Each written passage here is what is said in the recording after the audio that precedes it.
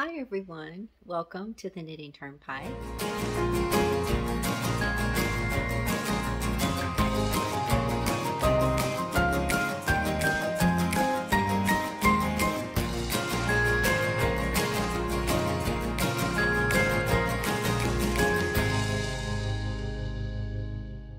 Welcome to the Knitting Turnpike. My name is Gina Pike. I'm so happy that you're here today. Today we're going to be doing a wrap-up video for a project that I shared with you all throughout the month of December.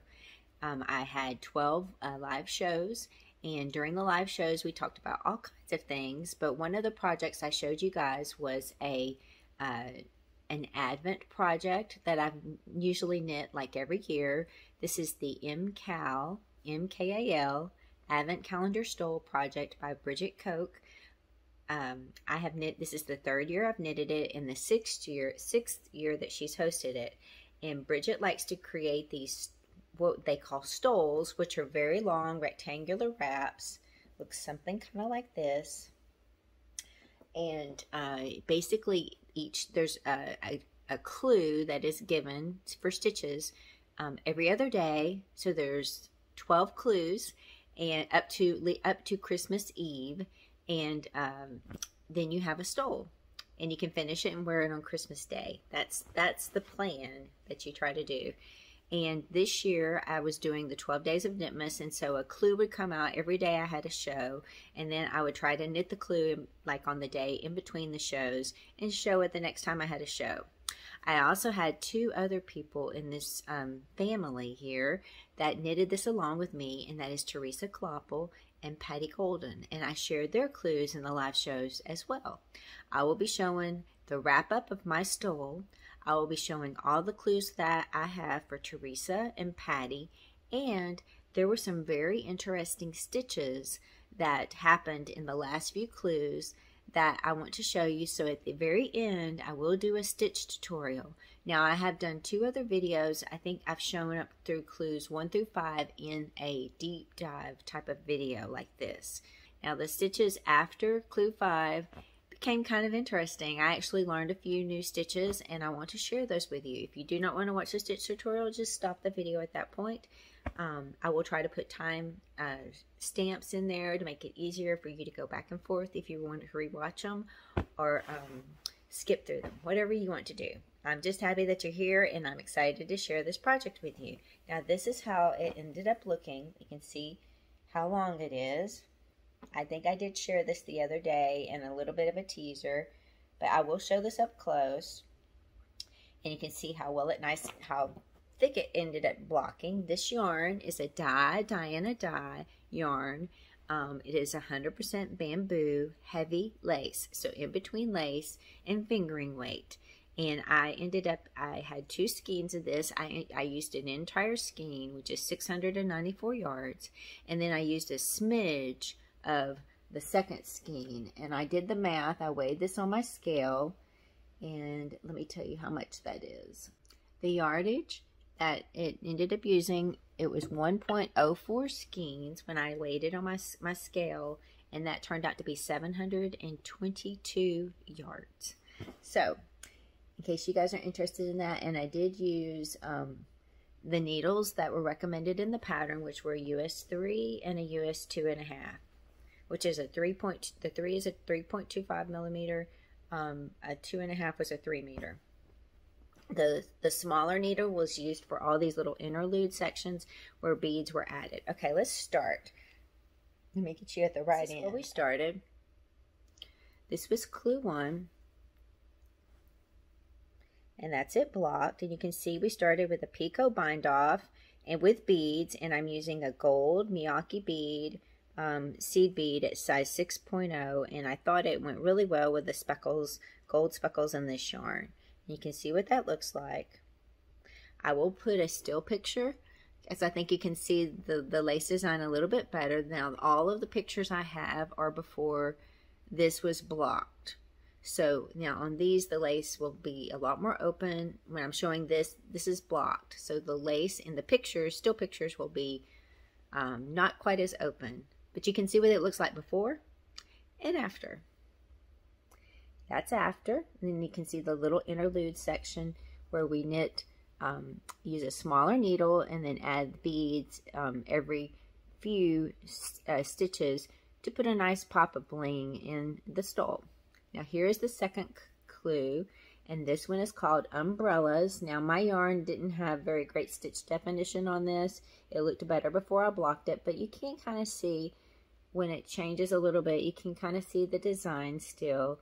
It's called umbrellas. I can kind of see it like when I turn it like this way a little bit. You know, some yarns just don't have uh, the best stitch definition, but this is so soft and so wonderful. I just wanted to make it with this. So uh, the third clue is this one right here. This is called vases. And if you remember in the vases clue, um, there was a new way to do a bobble. And that you can still see those bobbles. They're really small, but you finish them up before you go into the next stitch, which, which I thought was really clever. I believe I have that in the stitch tutorial, but that's the vases clue. And I'll try to show you a picture before, and then you can see it after. All right, and did you, you do the interlude part every between every clue. Now you could have knit this without beads. You could um, easily just um, knit it, and I believe my friend Teresa whose, whose clues I'm going to show here in a bit, um, did it without beads. And then Patti did it with beads. So you can get a, a, feel for what it might look like without beads. It looks just as beautiful without beads. You know, sometimes you don't want a bead on your, your um, knitting. So it's easy to just uh, not do that and just knit it. Now this clue, this next clue, this clue four, was very, very time consuming. Now, the one thing she did this year that I thought was really interesting is she included a lot more clues. Sorry to get so, so close. She included a lot more clues that had cables.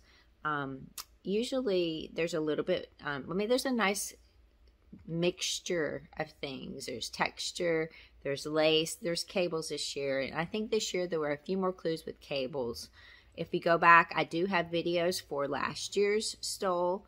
And the previous year is just a finished stole because um, I did that before I started my YouTube channel. So there is a video for um, the, uh, the other two projects that I have made for this Advent Calendar Stole project. So you want to go check those out and see, let me know what you think. Do you think this one had a lot more cabling or do you think the other ones were just as equally cabled? Let me know. This one felt like it had a little bit more. This clue is really beautiful. This is called Diamonds.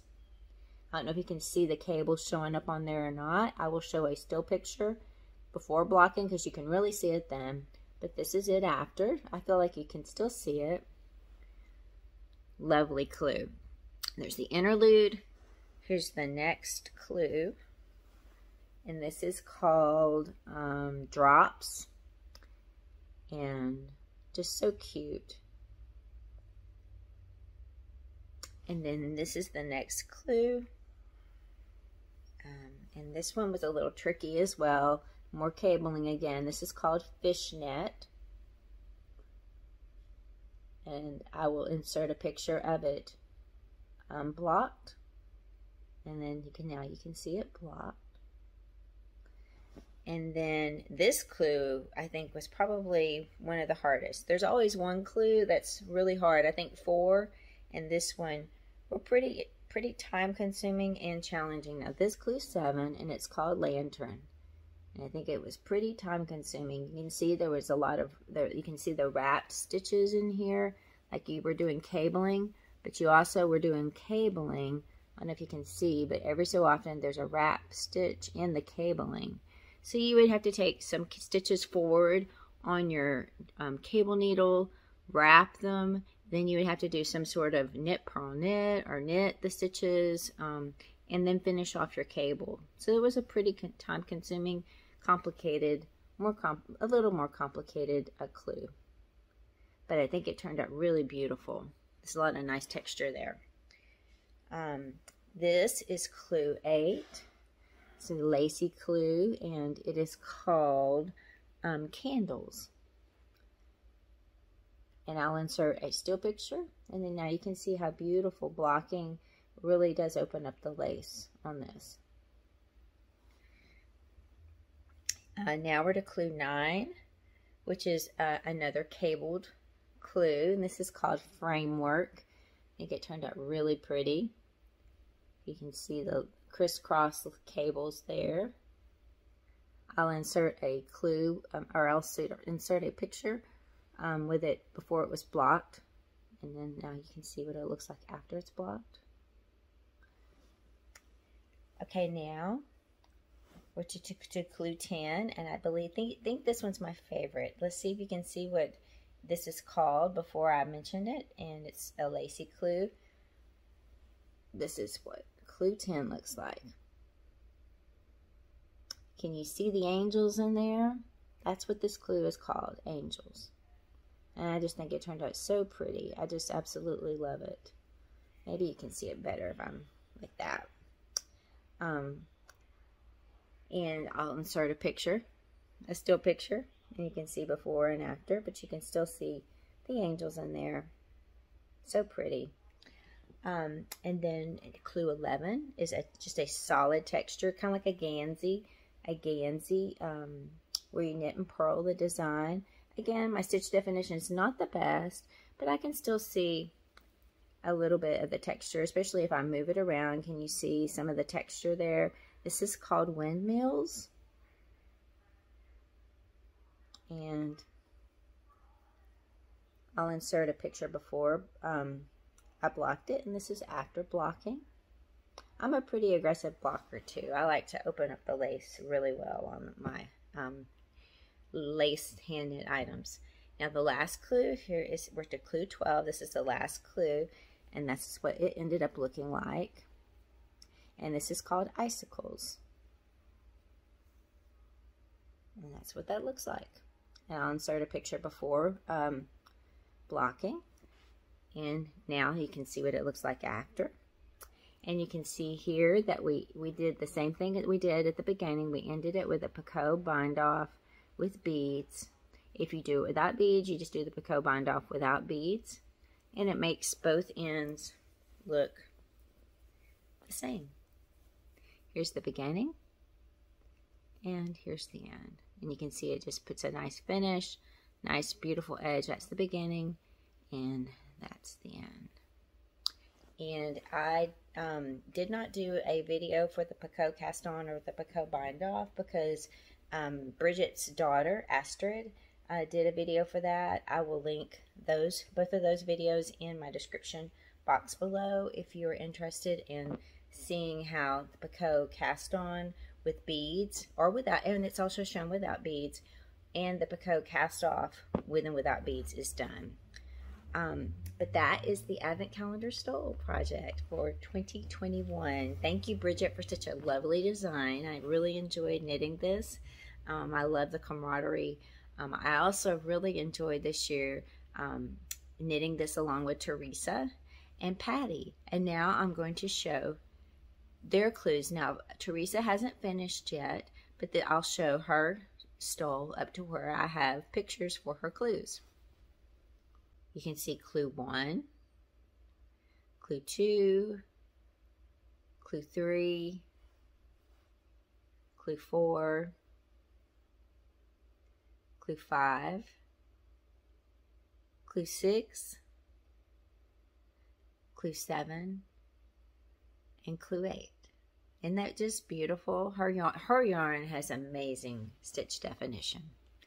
Now let's take a look at Patti's uh, stole. I believe I have all of the um, clues for hers. She's using a Christmas speckled yarn, so red and green speckled with a black iris rainbow bead. Beautiful. And her yarn actually has really good stitch definition too. I have all of the clues for hers, except I do, do not have a finished stole picture of hers. But here we go. Here's clue six. Here's clue seven. Here's clue 8. Here's clue 9. Here's clue 10. Here's clue 11. And here's clue 12. And Patti, you did such a great job. Both of you ladies did such an amazing job. Teresa and Patti, thank you so much for letting me share your clues in my live shows. and here in this video. Thank you so much. I really love it when people send me pictures of things that I might be knitting so I can share um, another person's project because I think it's always so much fun and interesting to see how something might look in a little bit different yarn. And I think each one of our projects looks a little bit different, but beautiful. So thank you so much for doing that. Now, the next thing I have to share are the stitches. Um, I'm going to go ahead and share.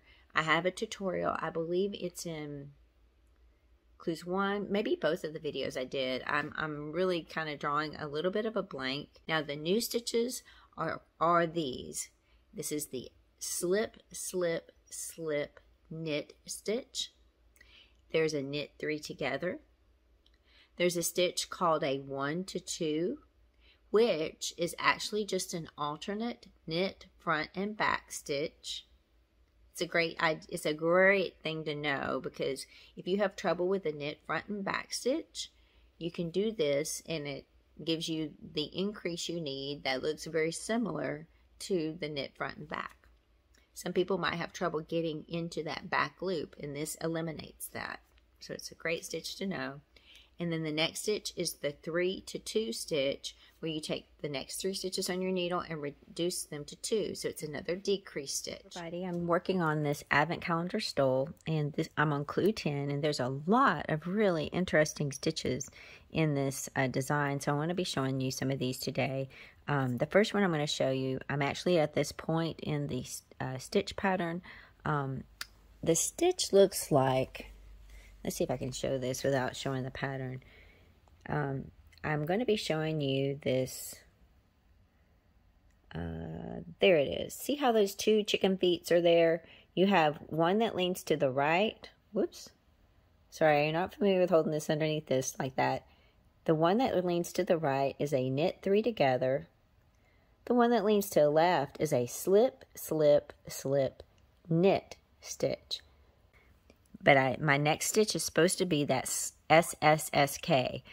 Okay, so what you're going to do is you are going to slip the first stitch as it's going to be like a slip slip knit. You're going to slip the first stitch knitwise, slip the second knit stitch knitwise, slip the third stitch knitwise, and then you're going to insert your right hand needle, I'm sorry, your left hand needle through the front of all of those like this, and then you're going to knit all of them together through the back loop. And the reason, see, it's a left leaning decrease. See how it's leaning? To the left. That's why the chicken foot was a left leaning chicken foot. Again, that's showing you how your chart gives you a hint as to what your stitch should look like. So when you see it leaning to the, when I see it leaning to the left, I know it's supposed to do an SSSK. When I see the chicken foot to the right, I know I'm supposed to do a knit three together. Now to do a knit three together, it's really simple like a knit two together, except you do use the next three stitches Insert your right hand needle into all three stitches and just wrap your yarn around, pull it through, knit, them, knit all three together. And again, it's a right leaning decrease, which is why, sorry, there you go. There, it's a right leaning decrease, that's, which is why the chicken foot leans to the right. That's the knit three together. Come on, camera. There you go. Knit three together. And that is the SSSK. And I just wanted to show you those real quick. Here's one of the next stitches. I'm to the point in the pattern. This is an alternate stitch to the knit front and back. You know, when you knit the front and back, you do this. You knit your, you knit into the front leg, and then you take your needle and put it through here, and you knit through the back, and it creates a stitch like that. Where you got a purl bump under the second one, it's an increase stitch. So this stitch is an alternate to that stitch. And I have a yarn over before it. Um, so what you're going to do is, and this is great, you can use this on, on any of your patterns. If you don't like to do the knit front and back, again, this is called a one to two stitch. You're going to insert your right hand needle into your the stitch where you're going to make this like this, and you're going to knit pull your stitch through. Do not pull that stitch off the left hand needle yet. Then you take your, your needle, your right needle, insert it through the back leg of that stitch that's still on your left hand needle, and just slip it off. And look at there. Now you have two stitches out of the one. It's a one to two. It looks pretty close to what I just did with the knit front and back, but it was a lot easier. And that's called the knit one to two. And we're going to take the next three stitches on our needle and we're going to end up with two stitches. So it's a one stitch decrease. What you're going to do, the first two stitches, you're going to insert your right hand needle through the front leg as if to knit them together because you are going to knit them together. So you knit them together. Do not pull it off the left hand, these stitches off the left hand needle just yet, except the first stitch of that knit two together, you're going to drop it off. Just like that. And then you're going to insert your left, your right hand needle into this stitch, slip it as if to knit. The next stitch, slip it as if to knit. Knit these two stitches together through the back loop. And what you end up with are two stitches out of the three. The first one's from your knit two together, the next one's from your slip slip knit. And that's the stitch. It's called a three to two decrease. The next stitch I'm going to show you is called a central double decrease you're going to insert your right hand needle into these two stitches as if to knit them together, except you're going to slip them to the right hand needle. And you can see that second stitch becomes your first stitch over here on the right hand needle. Then you're going to knit the next, the third stitch. And then you're going to take those two slip stitches and you're going to pass them over that knitted stitch. And you can see the resulting stitch looks like that. It's called a center double decrease because this the, a lot of times when you do decreases, they lean to the right or to the left. The center double decrease is just centered. You do not see it leaning either way. That's what it looks like.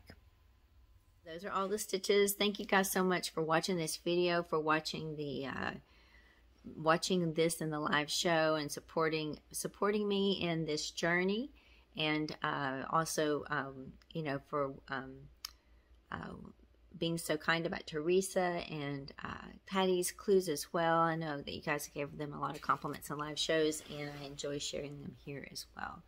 And um, and thank you again, ladies, for sharing that with us. I do appreciate that so much. Um, I hope you've enjoyed this. I hope you all have uh, been having a nice Christmas, uh, getting ready for your new year. Um, I'm going to be taking a small break. I do have my live show on the 31st um, to pick the winners for December. After that, I, I have maybe a couple of other things, but I'm going to go ahead and get that wrapped up, and then I'll be off a little bit at the beginning of January. But then I'll come back, hopefully reorganized, re-energized, and we'll get ready for 2022. So thank you so much for watching this. I hope you have a wonderful day. And if I don't see you again, if you don't see me on the 31st, Happy New Year. Hope you all have a wonderful New Year's Eve and I hope 2022 has nothing but the best for each of you. Thank you so much for spending time with me today. I hope you all have a wonderful day. I will see you all very, very soon. Take care of yourselves.